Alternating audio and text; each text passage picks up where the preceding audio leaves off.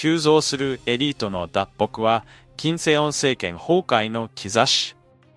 今朝の韓国の保守紙朝鮮日報に、北朝鮮からのエリート脱北者が金正恩時代になって2.5倍に増えたとの記事が載っていた。同氏は北朝鮮担当部署の統一部から入手した資料に基づき、情報機関の国家情報院が保護対象として分類しているエリート脱北者が1997年以後188人に達する、こうしている。内訳は、イム・ジョンイル、ドン・イルマイ総書記死去、2011年12月までに54人、陰性音体制発足後134人となっている。カノエコ体制下の脱北者総数は3万4012人。このうち金星音体制下は2万3027人で、金星音体制下は1985人。エリート脱北者の比率は金星率体制下の0.23%に比べて、金星音体制下では1.22%と5.3倍になっていると、同氏は伝えている。同氏は昨年11月に脱北したリニチン。中キューバ3時間ら6人から話を聞いているが、一様に金星音体制には未来がないと述べ、体制への反感から脱北したと回答していた。したがって、自由世界への憧れから今後も第2、第3の利益が出てくるだろうと予想し、記事を締めくくっていた。国上院の保護下に置かれれば相対を明かしても、ラーマコ、元中英講師のように北朝鮮工作員による暗殺テロを警戒し、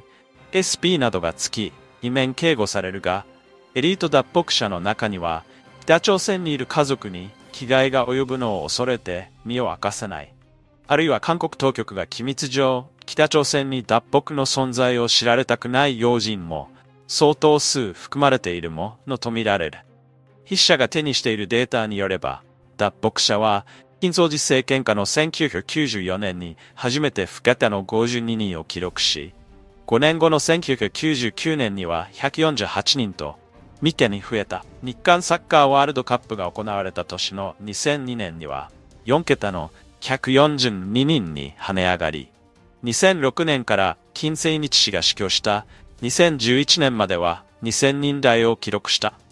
最も多かったのが2009年の2927人である。一方、金正恩政権下ではコロナ前までは2012年1508人、13年1514人、14年1397人、15年1075人、16年1498人、17年1127人、18年1037人、19年1047人と1000人台をキープしていたが、コロナ期間中の2020年は229人、21年は63人、22年は67人と減少をたどった。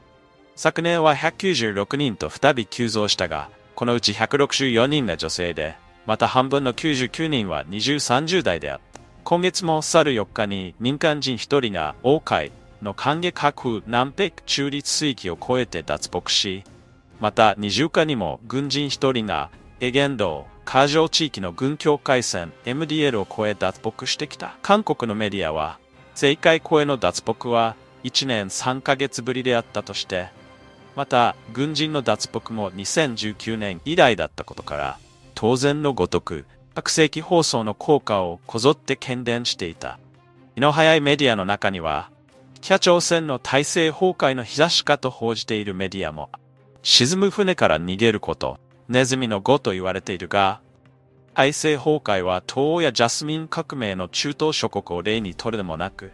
どれだけの幹部、電力中枢、エリートが脱北するかが一つのバロメーターになっている。韓国当局が明かさないため、現在どれだけの大物が韓国に亡命しているのかは定かではないが、周知のように北朝鮮の体制は朝鮮労働党一党独裁体制である。日韓のメディアでは脱北者にインタビューして記事にする際にしばしば幹部と紹介するケースがあるが、北朝鮮で幹部とは労働党第8回大会で選出された139人の党中央員と191人の中央委員候補を指す。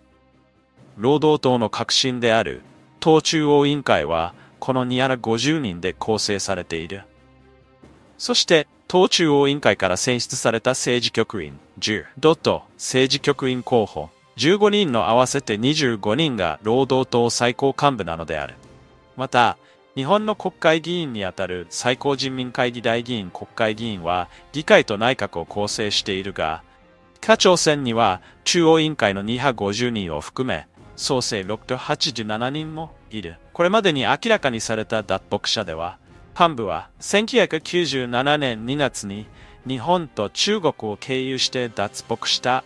当時序列27位のオー・ジョン・ヨプ労働党初期のみである。公認されている限りにおいては、以後27年間、講師に匹敵するほどの脱北者は出ていない。脱北外交官では、1997年8月にエジプトから米国に亡命したチョウ・ションギル、中エジプト大使が最も地位が高いが、超大使は北朝鮮の権力構図からすれば、相対的に彼は低い。韓国で大物扱いされている、アワ黄門中英公使も、リニキン中キューバ3時間も北朝鮮にあっては所詮小物に過ぎない。大使では中国とロシア、そして国、連駐在大使の3人のみが、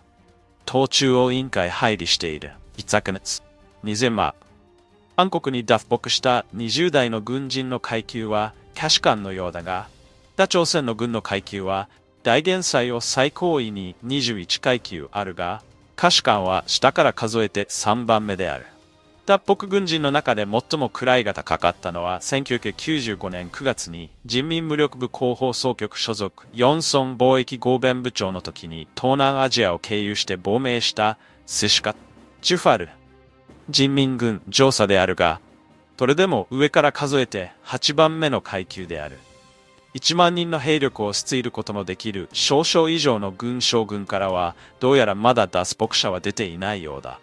先月、北朝鮮の軍高位幹部が秘密資金3000万ドル、約48億円の北京の口座から持ち出し、脱北をくれてようとしたニュースが流れたが、その青、この高位幹部は中国公安当局に逮捕され、北朝鮮に送還されてしまったようだ。消息金によると、この高位幹部は人民軍保衛局所属のホップコール少々とのことだが、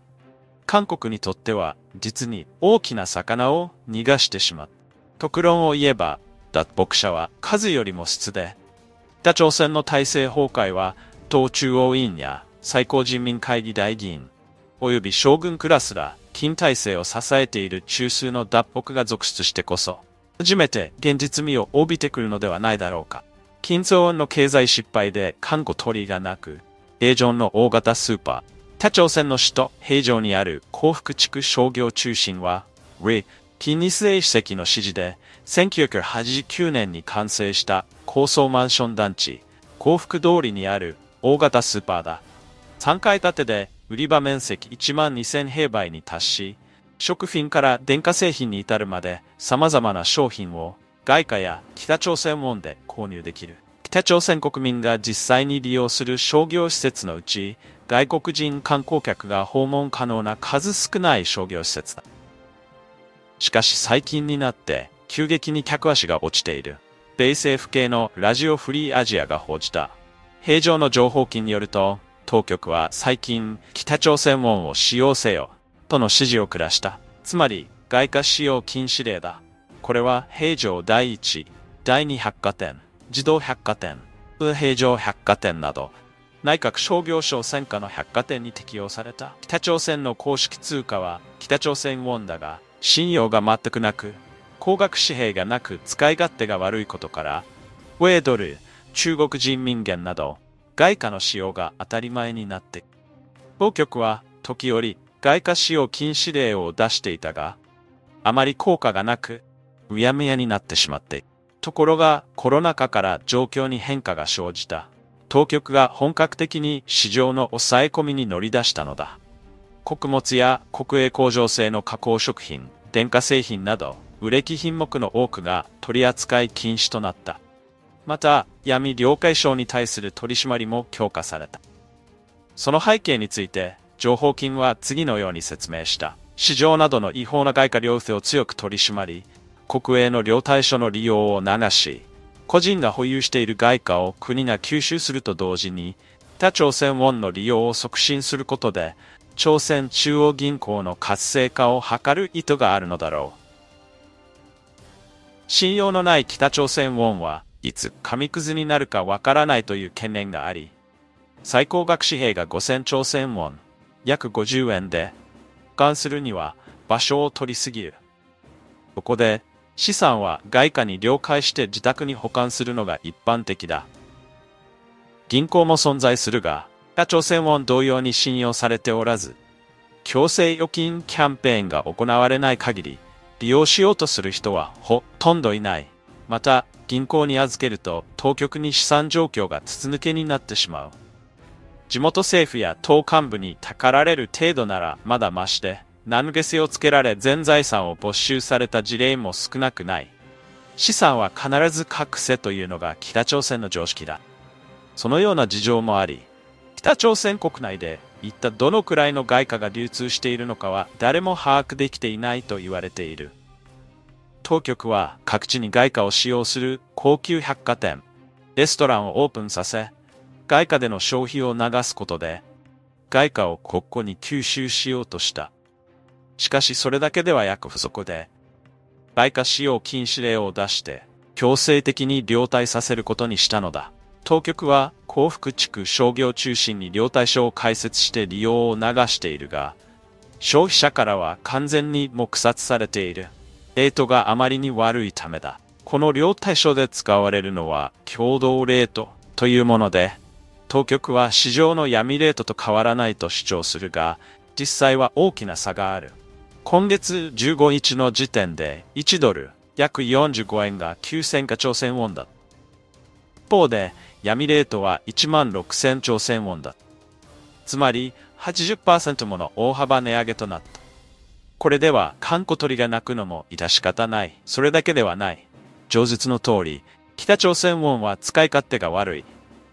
別の情報金によると、消費者は食料品など単価の低いものは北朝鮮ウォンで購入し、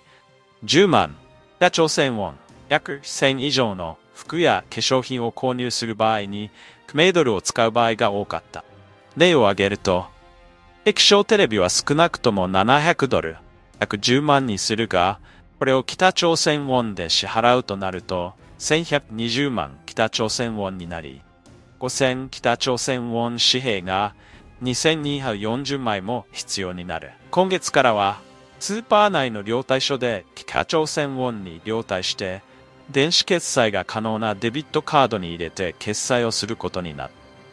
だが、レートが悪い上に、このやり取りが面倒であるため、客足が大幅に減ってしまったのだ。